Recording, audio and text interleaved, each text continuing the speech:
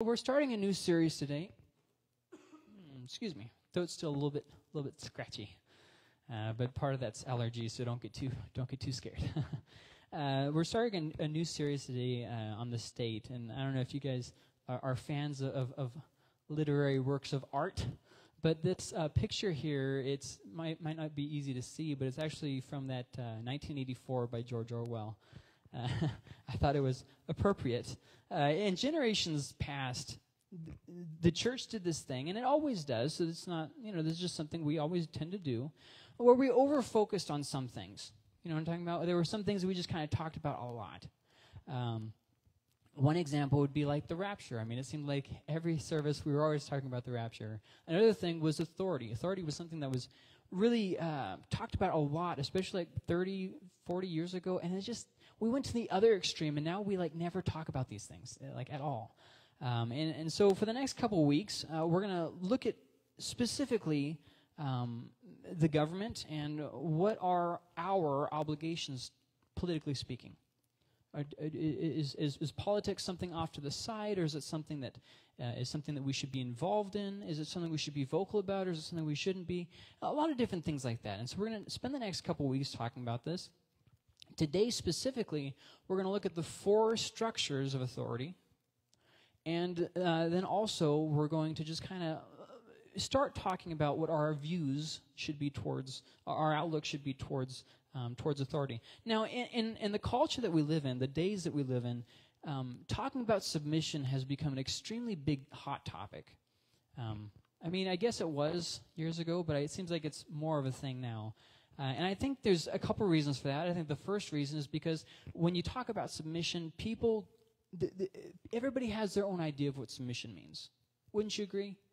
Like when I say the word submission, some of you are going to think of it as a good thing, some of you might think of it as a bad thing.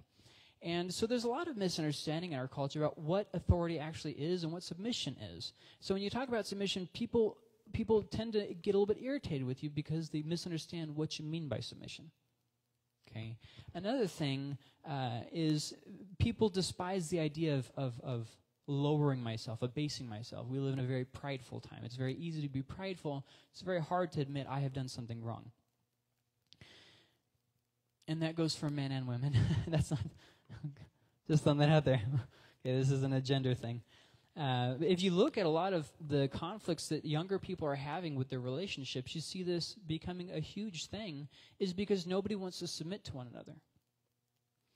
We all want to people to listen to us and to submit to us and to our authority, but we don't actually want to submit ourselves. And so there's a lot of conflicts that are happening in relationships nowadays um, that weren't happening to the same extent in previous years. So but but the thing about about submission, and we're going to get to the past and to the Bible in just a second, so don't don't go anywhere, okay? But the thing about submission that's important to note from the get go, before we even start talking about Romans 13, okay, is that everyone submits to someone. Everyone submits to someone. There's never going to be a person in this world that doesn't have to submit somewhere, somehow. Okay? If you, um, if you, another way of saying that if you are in authority, you have to be under authority. There's no such thing as absolute authority, right? We all answer to somebody. Um, all authority is borrowed. All authority is borrowed. And we're going to look at this in the coming weeks, but we even see Jesus Christ, who is God, walking in submission to authority. This is a very important thing to kind of point out. We'll, we'll build on that later, so just don't go anywhere with that. But um, it, it, every one of us has to learn that we have to submit in life to someone or something. Take, for instance, police, right? Police enforce the laws, but they can't, they don't have complete and absolute power in all aspects, right? They enforce the laws, but it's the court that, you know, passes the judgment and that kind of stuff, right? So uh, they enforce the laws, but are they their own entity? Are they like a neighborhood militia? No, no. They're given their authority by the state. The state gives them their authority. They carry out their authority to enforce the laws. All of their authority is given. They are in authority, but they're also under authority. Another good example of this would be parents. Parents enforce the character, the moral character of their children. They help them to develop and to grow. Now, parents don't have absolute authority, and they, they, they can't do things that are unlawful. Like, for instance, you don't hear of a, of a father, like, arresting his son. Well, I guess there's citizen's arrest, but I mean, yeah, hopefully you don't hear parents arresting their children as much as we, we'd like to sometimes. Uh, but they are given their authority by God and by the state. So they are in authority over their children, but they're also under authority. Everybody who's in authority is also under authority. Um, take, take, let's take an example from church the, the board, now this is a crazy thing when you think about it, okay? So, who votes the pastor in? Well, the board picks, and then the congregation picks from that, right? Okay, so there's, there's this process where you vote me in, but then there's another process where I am over the church. It's this really weird thing, and the same thing goes for the board. The board is picked from you guys, voted for by you guys, and then after they're in the position, now they're over you. It's a difficult thing because when you when you think about it, eh, sometimes it's hard to switch gears like that. Well, I voted him in. I should. I mean, come on. We've all thought it once or twice. Don't don't give me that look. You know what I'm talking about. Uh, so the board, they're in authority, but they're also under my authority. Now, this is where it gets a little bit tricky because I am over the board in authority, but also in a way I'm also under them in authority. Authority gets to be a little bit tricky to deal with sometimes, doesn't it? See, I can't just go and do whatever I want, right? I have to answer to the board, right? But also I'm over the church, right? so you got this kind of authority sometimes gets a little bit tricky to deal with. Um, but most most directly, I'm directly under the under the district's authority uh, the authority that I have is because they've given me that authority. See how that works? But then, check this out if I do something immoral, they will take that away, and I no longer have that authority. See how that works? If, if I'm accused of something here, the board that is serving currently, they'll investigate it, and if it has warrant, it goes to the district, and the district does all the mediation and all the resolution to it. See, the authority, it's something we don't really think and talk about a whole lot, but it really affects every aspect of our life. It affects your marriage. It affects your dynamic with your children, with your job, with your government. Everywhere you look, there's this idea that if you are in authority, you're also under authority. There is no such thing as absolute authority. So, all these that I mentioned, they're people who are in authority, which has been given to them. We don't give ourselves authority but they're also under authority, which limits their authority.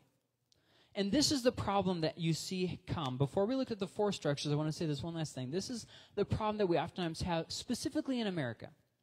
Not so much in other parts of the world where you don't really vote as much, but specifically in America. We have this idea that since I vote, I'm absolved from submission. Because I voted for them, I don't have to submit to them. Specifically, I'm talking about the government. Okay, now we're going to build on this a little bit later on, but we kind of get this idea that, hey, I don't have to submit, they answer to me. And this is a very dangerous place to put yourself in because what you're saying is you're saying, I don't have to be submitted to authority, everybody has to submit to my authority, and in so doing, you put yourself over God's authority. And we're going to look at what I mean by that in just a minute. And there's lots of different examples we could give for this. I mean, sometimes people do it to a pastor, sometimes they do it to a board member, right? So we voted for you, you answer to us. And that's just not really a healthy idea. Um, board members should be seen, remember, with respect. That's the first thing. Because they're giving their time and energy and effort to help the church to conduct its business and also to help the church and the pastor to carry out the vision of the church. This is a very important job to have. And I think that sometimes people get this idea, well, hey, if they don't play ball, you just get rid of them and get a new board. And that's not that's not a good attitude to have. Board members are important, and they should also be respected for their position.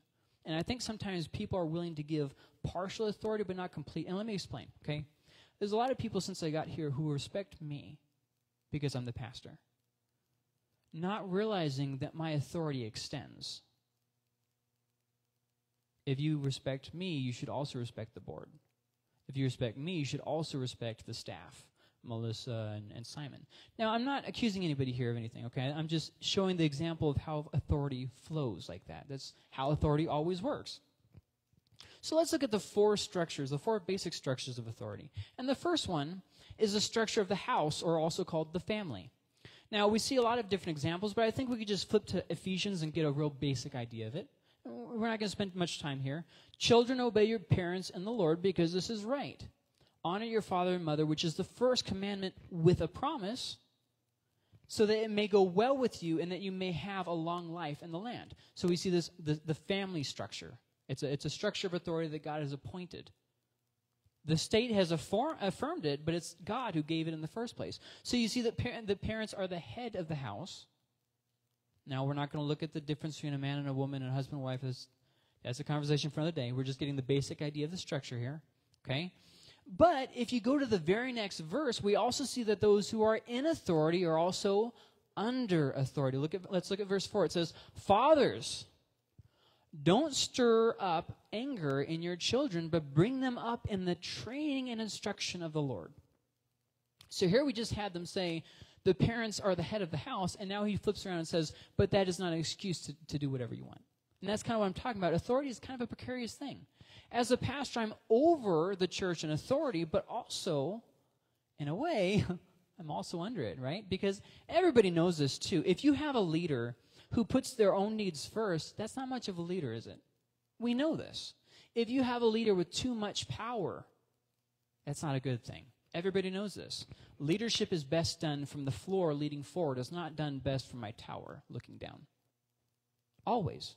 Always. When you see Jesus Christ, God Himself come, what authority structure did He have? He led as an example and told them to follow. That's the correct model for authority. When you are given authority, it's so you can give, be given more authority so you can lay your authority down, so you can lead people forward to Christ. Authority is a powerful thing, but it's also a dangerous thing. Very dangerous thing. And sometimes we, we say things like this, especially as it applies to the structure of the house. The buck stops here. So we kind of lord it over our children, not forgetting that we are also responsible for how we raise our children, how we raise our, our, our, our family. It's important. Okay? If the if we are going to say that the husband is the ultimate authority in a house over the wife, then it is even more important that the husband lay down himself, just as Christ laid down himself, to the point of death for the betterment of his family. If that's what we're going to say. Now, if you're not going to say that, I guess that's a conversation for another day. The second structure that we see, the second basic structure that we see from the scripture, uh, scripture is the structure of the job everybody, well, I shouldn't say everybody. Everybody should be under this authority. Maybe, maybe not, but I mean, everybody should be. Um, and we can just keep reading in Ephesians to get a, a, basic idea of this one. Slaves, obey your human masters with fear and trembling, in the sincerity of your heart, as you would Christ. Now, obviously, he's talking about slaves and masters. We don't have slaves in America. Well, I guess we kind of do, don't we? Uh, we call it something else.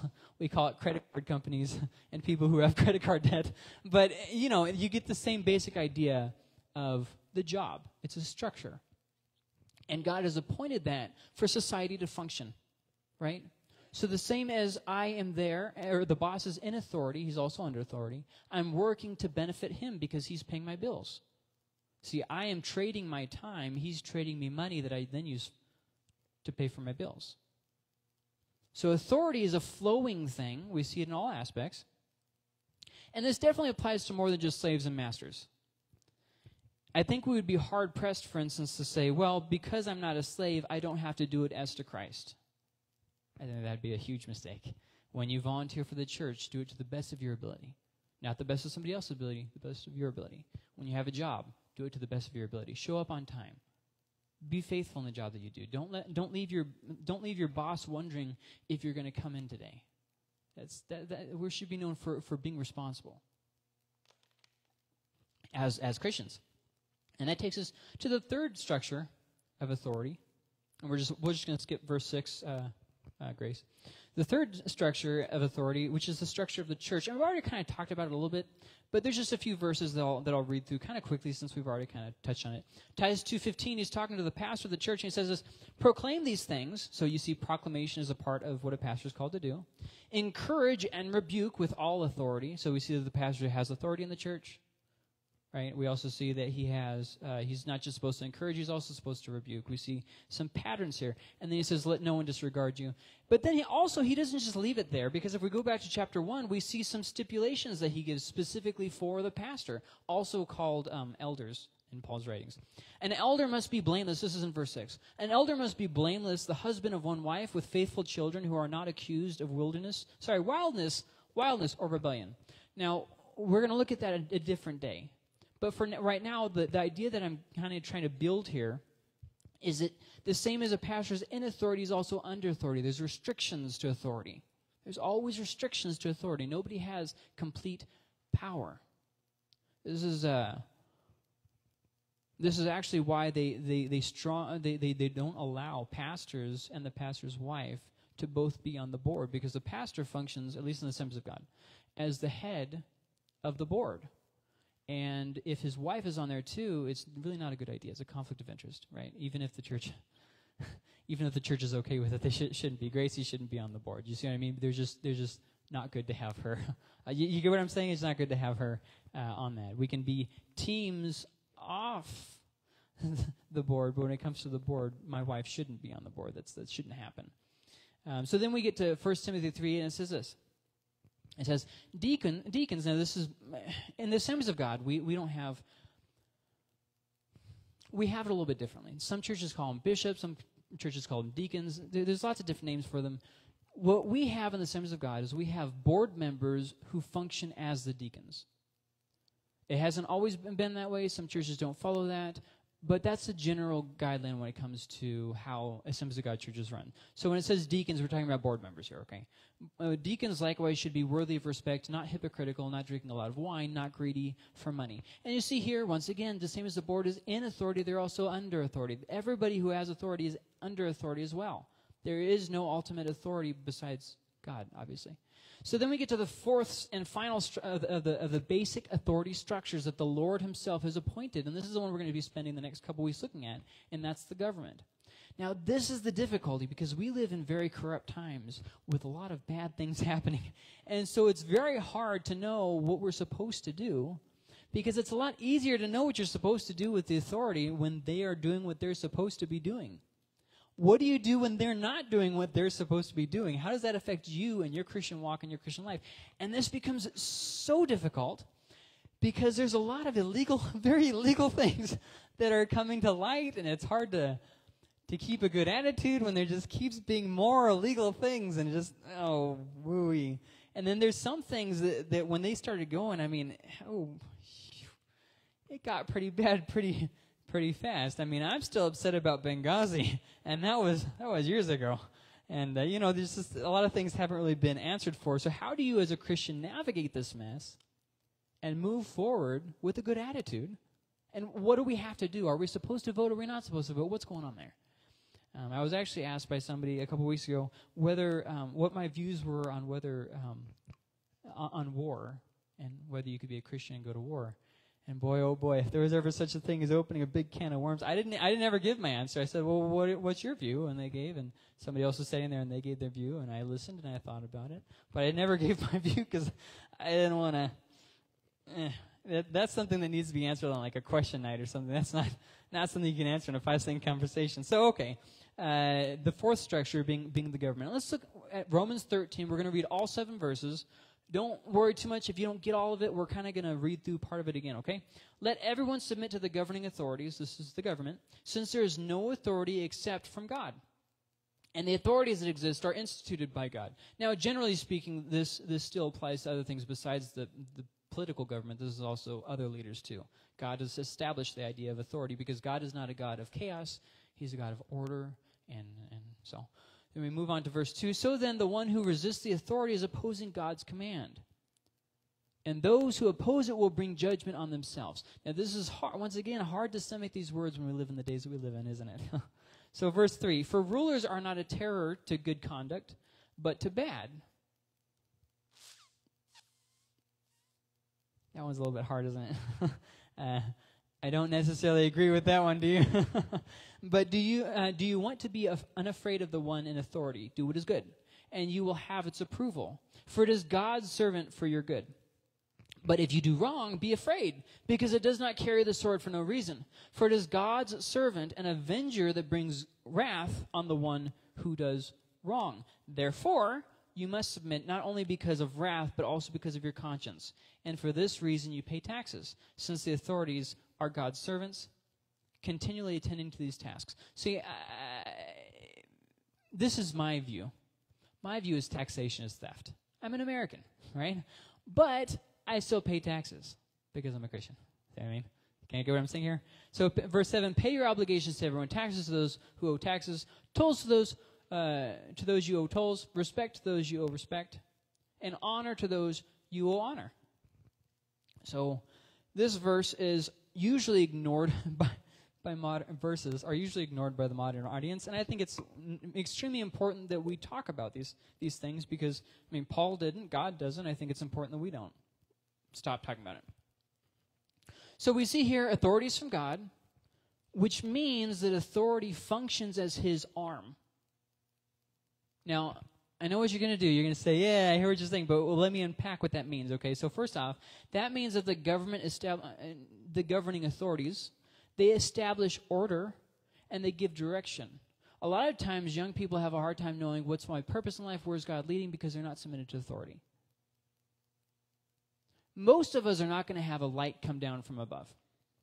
God is most of the time going to encourage leaders in your life, and they're going to guide you along and help you walk in purpose. But what the younger people try to do is they try to ignore the older people and just try to find my purpose by what I feel and what I enjoy. Well, you can't build your whole future around something you enjoy doing. I mean, those of you who are older, you know what I'm talking about. You don't always enjoy it for the rest of your life, do you? Not that, but uh, what you enjoy doesn't always pay the bills, does it? Uh, I had one woman on a, on a worship team that she loved music. She loved singing. Man, did she love it. And her voice was the most tone deaf, ooh, unpleasant sound I think I've ever had the un- misfortune of hearing. It was not good. It was not good at all. Uh, tried to teach her lessons, literally went nowhere. Nowhere. I, have never trained. I used to always think that anybody could sing. You just have to work hard enough. I repent with dust and ashes. I was wrong. I was wrong. There are some people who are just not musically inclined. And uh, that's okay. That's all right. But maybe find something that you're good in, right? Uh, but, anyways, moving forward. Uh, and so, what we do a lot of times, excuse me, what we do a lot of times is we have this idea like this well, I submit to God, not man. Have you guys ever heard that before? You hear it a lot from like the, the far charismatics, right? Uh, they, they really get into this idea of my authority is God's. And I get what they're saying, but here's the problem with that God uses man. God uses man. Okay, you can say, I don't submit to people, I submit to God. But if a, if a police officer comes up behind you and flashes his lights, you got to pull over, don't you? You can't judge me. Well, the judge actually does judge you. so, I mean, yeah, you actually can't do that. Um, you know, this idea of I submit to God, not man, it, it sounds good and we get ourselves real worked up, but it's not true. It's just not true. Who does God use as the authority over the church? Does he personally come down and handle every single conflict? No. He appoints pastors, and the pastors work with the board to resolve the conflicts, right? Think about the family. Does he personally raise every single child born to man? No. He establishes the parents to raise the children. He uses man. Authority is always flowing. What about the government? Does he just leave us all to our own desires? No, he establishes the government. And what does he say happens when there is no government? When people just, well, we'd be better off without a government. Well, maybe, maybe that's true. But, uh, you know, when people get this idea, we see what happens in the book of Judges. Everybody did whatever was right in their own eyes. Authority is a gift from God. It is misused and abused, but it is still a gift from God. And that's what these verses are talking about. So, what does it actually mean to submit? Ooh, we're gonna have to come back to that. that's gonna be uh, that's gonna be a little bit of a longer conversation. So we're just gonna introducing the idea here. We're gonna have to come back to it later. So let's go back to verse one, which says this. It says, "Let everyone submit to the governing authorities, since there is no authorities except from God, and the authorities that exist are instituted by God." So does this mean then? Does this verse mean that immorality should be ignored? That if there's a leader who's immoral, they should just kind of be be left alone. Leave them alone. If that's true, why even bother with voting? Right? Now, throughout history, voting has sometimes been there and sometimes not. Uh, and in a lot of the places, people haven't had the chance to vote, right? So they just kind of have to put up with it. Uh, we see a lot of things happening during the French Revolution, for instance, that were not overly, um, people didn't really have a choice on. They just kind of happened.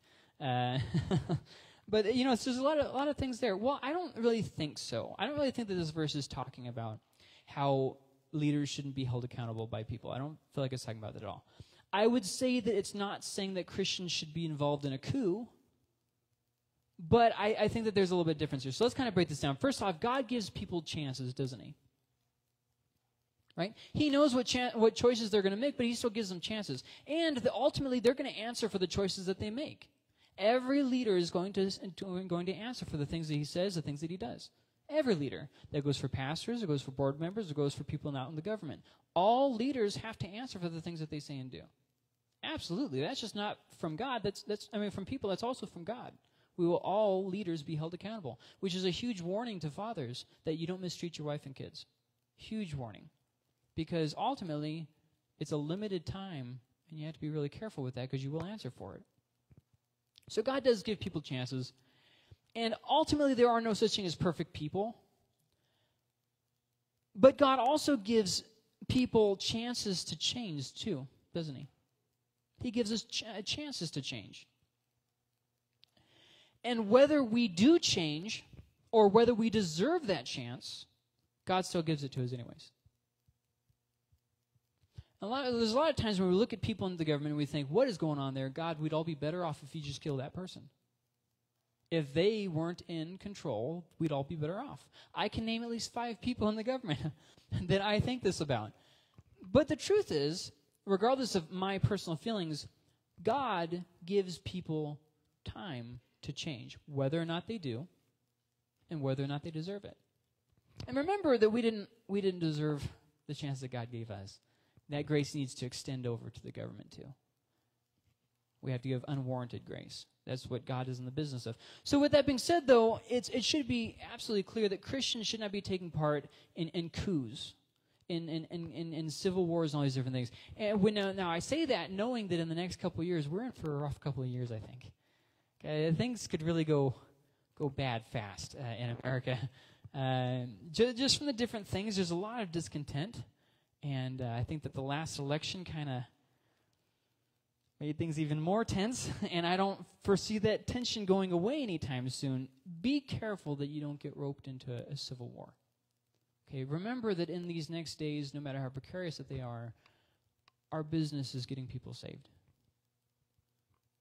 It's very possible that in the next couple years we could lose vo- voting rights altogether. And it's very possible in the next couple years that we go through a lot of suffering in America. It's very possible. America is such a such a wonderful thing with freedom, but never forget that freedom is never never free. And we all go through times of of loss. So with that being said, as Christians, whatever we decide to do, whatever your conscience lands you, remember not to be disrespectful or dishonorable. Christians should not be known for being dishonorable. Whatever you do, do it with honor, do it with respect. If you can't figure out the right thing is to do, don't do anything until you do. Think of it like this What would Jesus do if he was in this situation?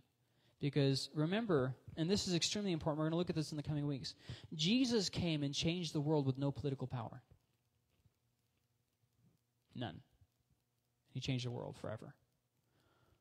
But, I heard this said on somewhere online, I can't remember exactly where, but we try, as Christians, we oftentimes try to change the world like the Roman government did conquering, right? We're called to live like Christ. We're going to change the world, and it's not necessarily going to be through, through, through politics. So keep that in mind, okay? So in America, we're able to voice our, our, our, our, dissension, our complaints. We're able to vote on things, which is a good thing. But take a special care, a special care, especially in these days that we're living in. We're so close to the end, so very close to the end. And I'm not saying that from, Ameri- from an American centered uh, view, I'm seeing that from a global centered view. I mean, there's just. I really think this is things are getting towards the end, really close to the end. And in America, we're able to do these different things, but take a special care that your freedom doesn't get in the way of your witnessing. Okay? Take a special care for this. you know, wherever your conscience leads you on, on, on, on, on voting and for you speaking out against things, absolutely, prophets did these things throughout the years. But keep in mind that your main goal is telling people about Jesus. That's the main directive. Okay, everything else kind of changes. And, uh, you know, it, it's interesting to me because, I mean, we all do this, and, and think about this in your own life. Don't we tend to demonize people that we don't like? I mean, don't don't we do that? Not just with the government. I'm talking about people in our life too, right? So, like, let's say cousin Joe. Man, oh man, that's the worst person ever. So we only think about the bad things that cousin Joe does, and we never focus on the good things, right? I mean, am I right? We demonize people that we don't like, and um, th- the truth is that that one person is not everything that's wrong with America today. And you all have that person in your head. I don't even have to elaborate on what I'm saying. You know exactly what I'm talking about. We all have this idea that there's that one person, and if that one person was out of the picture, they're, they are everything. They are what's ruining America today. Don't don't you feel like this sometimes about certain people? Come on, you can't lie to me. I know what's going on because I, I think the same thing. But the thing is, there's a widespread problem in America, and it will not be resolved by one person being in or out of office. It's just not we need to be in prayer in these days. We need to be in prayer for repentance for the church and how we've conducted ourselves. We need to also be in prayer that God would open doors for ministry. Because once again, the days are very short. This isn't the time for pay squabbles. This isn't the time to get your eyes completely focused on the government. It's, your, it's, it's time for us to get our eyes focused on Christ. so let's hop over to verse 7, which says, Pay your obligations to everyone Taxes to those you owe taxes. See, he's not just talking about money, is he? When he said pay your obligations, he's not talking about money. Pay, give money to your obligations. He didn't say that. Pay your obligations to everyone. Taxes to those you owe taxes. That's money. Tolls to those you owe tolls. That's also money. Respect to those you owe respect. That's not money. And honor to those you owe honor. One of the most difficult things as a pastor to do is to have your own political views and still point people towards Christ. That's very difficult to do. It wasn't difficult before I was a pastor. now it's difficult to do because I have a lot of opinions, and I try very hardly, uh, very hard not to, not to emphasize them. But here's the thing: you hear people say this a lot. That's not my president. Yes, he is your president. There's only one America, and just because the person you didn't want in office is in office doesn't mean they're not your your your, your president. That's not how authority works. You don't like the president, okay, that's fine. you didn't vote for him. That's also fine. Okay, these are all fine to have. But keep in mind that, yes, he is still your president or your vice president or whoever else if they're voted in. America doesn't have two different governments, it only has one. And Romans is absolutely clear here respect to those who owe respect. There are some people who deserve respect simply because of the office that they're in, regardless of how well they wear the hat. You get what I'm saying? From this stage, have, I, have you ever heard me criticize? By criticize, I mean nitpick. President Biden, President Bush, President Reagan, President Obama, President Trump.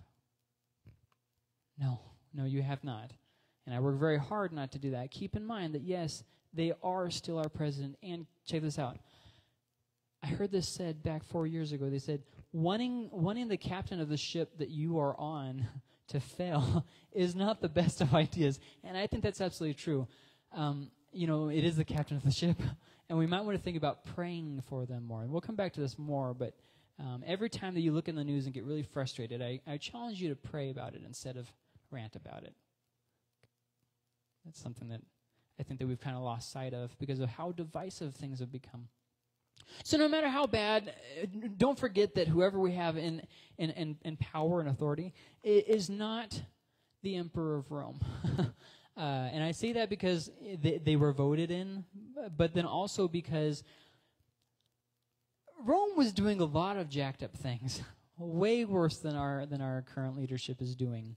And yet Paul says here in verse uh, three through four, he says this: uh, for rulers are not a terror to good conduct, but to bad. Do you know who killed Paul? The government that he's talking about. They killed him. Do you know why they killed him? Not really for anything. He didn't do anything wrong, but he was killed for it. And if you look around America, you see more and more a lot of injustice happening, don't you? It's kind of everywhere you look on the news, and well, it's just kind of everywhere. Uh, you don't even have to turn on the TV anymore. Used to, you just don't turn on the TV, you don't have to worry about it. But now, I mean, it's everywhere. It's, it's everywhere, even if you don't turn on the TV. But, you know, so here we have Paul, who is killed by the government unjustly, saying rulers are not a terror to good conduct, but to bad. And that's because there's a general principle here. Now, I'm going to read the rest of the verse, but I just want to explain this general principle. You know, I don't know if I've ever, ever worked with a druggie who didn't have a problem with cops. I can't think of one. They all seem to hate cops. Cops are the problem with everything in the world. And it's like, well, maybe you should stop breaking the law. Have you guys ever seen that one movie? And I know Jim Carrey's not a big fan favorite here, but have you guys ever th- seen that movie with Jim Carrey called Liar Liar? It's about a, a, a lawyer that can't lie. Imagine that. So uh, he, he, he has with this one client that keeps calling him and getting himself in trouble. And hey, what can I do about this? What are you going to do about this? What are you going to? And finally, because he can't tell for a day, he can't he can't lie. So he has to tell the truth. He says, "Stop breaking the law." And he hangs up on her. Yes, absolutely. If you don't break the law, there's a lot less for the law to get you in trouble with. You know, I've noticed that cops don't pull me over if I'm not speeding. They they don't pull you over for going the speed limit. Have you noticed that? It's this miracle thing, and you wouldn't know it because uh, whenever there's a traffic accident, there's you know there's police over on the side. You always see people slow way down. They're going like 15 under because we don't want them to pull us over for doing the speed limit. I don't think that they're gonna. Whoa, let's leave this. Let's leave this uh, this situation here with the drug with the, all the drugs in the car. Let's leave them alone. They're going the speed limit. Get them down. It just. you guys didn't think that was funny. I think it's funny, but whatever. Do you want to be unafraid of the one in authority? Do what is good, and you will have its approval, generally speaking. For it is God's servant for your good. But if you do wrong, be afraid, because it does not carry the sword for no reason. For it is God's servant, an avenger that brings wrath on the one uh, who does wrong. So, by and large, this is true that if you don't cause problems, you won't have as many problems. I mean, yeah, we live in a fallen world. There's going to be problems. But by and large, if you don't go around causing a problem, you're going to be a lot better off. So when we get to verse verse two, let's back up to two, and it says this. It says, So then, the one who resists the authority is opposing God's command, and those who oppose it will bring judgment on themselves. This is extremely important because we're dealing with this right now. This isn't a hypothetical of some day far off. This is something we're dealing with right now. Be very careful that your American freedom doesn't lead you into sin. Be very, very careful, okay? We live in very divisive times, um, and know where the line is between your views and your Christian obligations. Just be aware of this. Uh, it is God's servant, and it says in the beginning of verse 4, and then and again in verse 4 it says, it is God's servant. It says it two times in one single verse. When you have a rebellious, stubborn attitude as a Christian that rejects authority, you are raging against God. We have to be careful as Christians that we don't have that attitude in us. And it says here in verse 2, it says, So then the one who resists the authority is opposing, okay? And he goes on to say, Those who oppose it will bring judgment on themselves. Judgment from who? Judgment from who? Who are, who are we getting judgment from? Well, both, actually. Government, firstly. Absolutely, yes. Uh, when you rage against the machine, the machine will run you over. But then also, uh, God, too. God does not take disrespect and disauthority overly well. Okay, so obviously there are exceptions to every rule. For instance, when we look at Exodus and they lied to the Pharaoh to save um, the Israelite children, they got a free pass on that, didn't they? See, there are rules, uh, and there, there are uh, limitations to the rules, but by and large, when you have a stubborn, disrespectful attitude, you find problems with everything that everybody does, and you always find an excuse for your attitude. Now, God also, keep in mind that God might use the government to punish you. We see that this happened in the Bible when he raised up the Babylonians, a very evil empire, to conquer Judah, who was evil, but not quite as evil as Babylon. So divisiveness is definitely in the air uh, all around us. I don't think this is news to anybody. It's, it's kind of been like that, that on and off throughout history.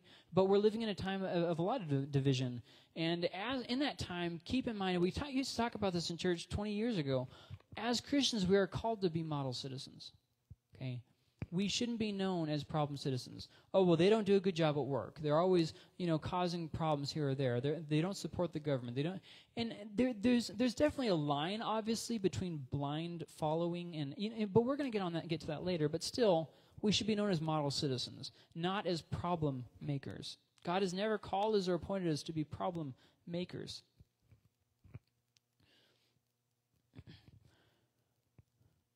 So it, it, there's going to be times, absolutely, when we must break the law as Christians, aren't there? these, these times always come. But make sure that when these times come, you do it with respect and not spite. Sometimes we make mountains out of molehills, and then we choose, I'm going to die on this hill when we didn't have to, or something that wasn't really worth it. So, a good example of, of some things that we break the law on is a lot of times when we get Bibles to different countries, that's illegal, and the means that we do to get the Bibles into those people's hands is also illegal. We break the law to get those people the Bibles. And this is something, this is the only way to get the Bibles to them. Uh, so, a good example of how we break the law in order to fulfill God's higher law, but we don't do it with disrespect. We don't do it in spite. We do it because we love the people and we're trying to get the Bibles to them. I mean, if you have a problem with that, you, you're going to have to spend some time kind of weighing this. Uh, because Paul definitely set up the example of, you know, the greater good and all that. So let's kind of skip on past that. And we can get to verse 5. And this is the last of the verse, uh, verses we're going to kind of focus in on. It says this It says, Therefore you must submit not only because of wrath, the wrath of the government and the wrath of God, but also because of your own conscience. So there was a there was a there was a big question that was asked in the 90s. You know, we're looking at verse 5. It says, you, you not only avoid punishment, but you also avoid offending God and becoming guilty. Okay. So let's look at this question that was asked in the 90s that um, by and large the culture said, no, it doesn't matter. And this was the question Does immorality affect leadership? Can, can a president be a good president and do his job well if he's immoral? And the topic of the day that was caused that to be asked was President Bill Clinton. You remember. No, I did not have sexual relations with that woman. You know what I'm talking about. And, uh, well, it turns out he did have sexual relations with that woman. And the question then became does it matter? Should we care? And for, for the large part, the culture decided no. No, we shouldn't care. That's gross. It's disgusting. But by and large, we kind of just got over it. So here we are years later, and it's kind of like, eh, eh, it's not really that big of a deal. So the question being, does immorality affect leadership? We don't have many choices nowadays, do we? Seems like everywhere we pick, we have to choose between, you know, um, different immoral people. And that's that's that's hard because they always told us, especially like ten years ago, they they told us this over and over again. Vote with your conscience. But how can you vote with your conscience if they all fall short? Whew, I don't know, guys. This is getting harder and harder to have the right answers. This is something you really have to pray and weigh. But I would say this I would say, don't be moved to inaction because you feel like you don't have a choice that you want. Pray about it. Consider your options. Weigh the different people running for different positions. Compare. Pray some more. And then vote. Now, that leaves two basic understandings. And this is where we're going to close off. What is your responsibility and what is God's responsibility? Your responsibility is this stand for truth. I don't know exactly what that looks like in your context, but through prayer and through the Bible, I think you can figure that one out for yourself in your own context. Okay, what does that mean for you? For me, standing for truth isn't about me going out to rallies and, and different things like that. For me, standing for truth is preaching Christ, it's voting, and it's trying to personally live out the things that I want to see in them. There's not a whole lot more that I feel like I can do, but it's a start. So vote wisely, absolutely. But here's the thing your one vote is not going to fix or ruin the entire world. Okay? It's all right. Don't put so much weight on yourself. Voting really is the minimum that you can do, anyways. I mean, if you think about it, uh, which blows me out because a lot of people don't even just don't even show up to vote. I'm just that blows me away. Uh, voting is really the minimum that you can do um, for the situation. And a lot of times we do this. We vote once every four years, and we just kind of hope for the best for the rest of it. But there's a lot of other voting that is really actually kind of important. And uh, then don't also don't forget that as much as you might treasure voting, the day will come when voting ends. the rights and privileges and, and freedom that we've enjoyed for so many years is not going to extend forever. I can guarantee that when the Antichrist comes, there will not be voting. I can guarantee it. So eh, then that takes us to God's side. As far as eh, it is, you know, you do the voting, you do what you feel like you got to do, but trust God because He is in control, not your vote. There was never a moment when your vote was in control. It's always God in control. And this is the part that bothers us because sometimes God brings good results and sometimes He brings bad results. But ultimately, God still brings a result. See, when we got the last president in, God is the one who allowed that to happen. See, sometimes God allows things to happen that you don't want to happen. The next president, whoever it is, God will still be in, char- in control of that. See, our, vote absolutely, but keep in mind that your vote is not going to override God's authority nor is your lack of voting going to do that. God is, God is ultimately the one in charge. And let's look at what Isaiah 31 says. It says, Woe to those who depend on horses. They trust in the abundance of chariots and in the large number of horsemen. They do not look to the Holy One of Israel, and they do not seek the Lord. Or look at Psalm 118, which says this It is better to take refuge in the Lord than to trust in humanity. So this is how I'm going to kind of wrap, wrap things up, okay? There's a couple more things I want to say, but this is pretty much the main idea here. Vote for without believing in. Get what I'm saying? Your trust and your faith should never be in any candidate. However, you should vote. See what I'm saying? Vote for whoever your conscience leads you to as you pray and as you consider. But don't put your trust and your belief in them.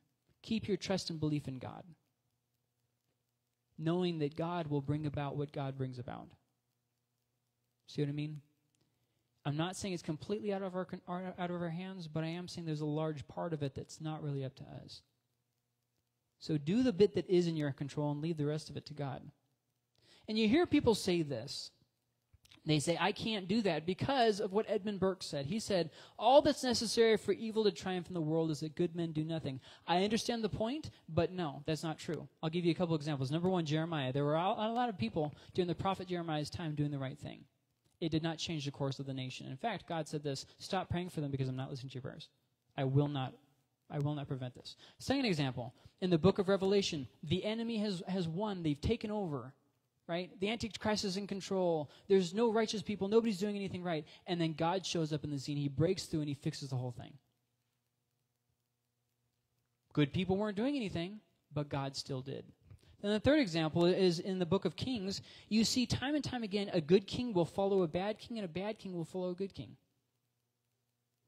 No rhyme or reason to it. So, with all that being said, yes, prayer changes things, absolutely. And do what you can, absolutely, because I believe Dolores posted it this week. Sometimes we're leaning on a shovel asking God to dig a hole. Yes, absolutely. You should, pray and, and do, do what you can, absolutely. But ultimately, it's not up to the power and wisdom and strength of man to fix a corrupt society. Thank God. Ultimately, we're trusting God with this thing. When I look at the church fathers, I see them saying pretty much the same thing. Now, wherever you land on their um, on their rebellion, whether you think it was good or justified or whether it wasn't good or justified. We need to be very careful moving forward from this time to show the light of Christ. I think this is absolutely important for us. And I saw after the, the, debacle of the Olympics, the whole Lord's Supper thing, which I'm still a little bit irritated about. I've tried, guys. I really have tried to let it go. I'm still a little bit irritated, but I've tried to let it go. Um, I heard this guy on, and he was getting all worked up. And he said, well, we can't let the culture mock us as Christians. We have to stand up for our religion or else people won't take us seriously. What Bible are you reading, dude? What are you talking about? Yes, we can let people mock us. That's what we, they've been doing since the day Jesus came. Like, that's not something we have to, well, we got to stand. No, let them mock us. Actually, we're called to be mocked. That's actually what we have been called to do. Let's look at uh, 2 Peter 3 3, which says this Above all, beware of this. Scoffers will come in the last days, scoffing and following their evil desires. It's going to happen. It's going to happen. We are called to endure. We're not called to rise up politically. We're not supposed to raise up a, a superpower. We're not supposed to raise up, uh, you know, a, a home, a, a, a church militia group. We're not supposed to do those kinds of things. We're supposed to tell people about Jesus and move the light forward. And so, obviously, this is this is going to be something we're going to have to look at a lot more in the coming weeks. Um, you know, because there's in America at least there's a huge divide between politics and religion. And a lot of my friends from like Africa, for instance, this isn't really a thing for them. And I think that it, we would do well for it to stop being a thing for us. I, I really, there really shouldn't be a big divide between politics and religion. We should look to God, we should trust in God, but we should also pray knowing that God is a part of politics too. Isn't that what the entirety of First and Second Kings shows us? That God is, is definitely moving in politics too. So we should be involved with politics. We shouldn't we shouldn't not vote. We shouldn't not, absolutely. But I think that we just need to have a little bit of wisdom as we address these coming years because it's going to get worse more than likely, not not better. We're going to have some good years, but there's going to be a lot of things that get get a lot worse. So we'll pick up here next week with with Second Chronicles and kind of look at that a little bit more. Um, but we're going to go ahead and close out here. Uh, probably already went too long, anyways. Lord, thank you for today. I pray you'd bless those who are here and. Uh, help them as they go throughout their their days. Um, just help them to figure out how to show uh, the light of Christ among such terribly politically difficult days. That you would give them wisdom to know what to say and what not to say. That you would, um, Lord, just help them not to be moved to such a point by the news or the different things going on that they that they lose their peace and comfort in you. Lord, instead that you'd give them a firm foundation in your word Help it to tie them down and help their, help their hearts not to be troubled. And help their hearts not to run away, but help, help them to focus in on you and to seek you with a whole heart. And uh, God, as, as, we vote and as we do different things, that you would move in politics and move in the situations, and whatever happens, good or bad, that you would use it to bring glory to your kingdom. Whatever happens, whether it's good or bad, that you would use it to bring glory to your kingdom. We thank you, Lord.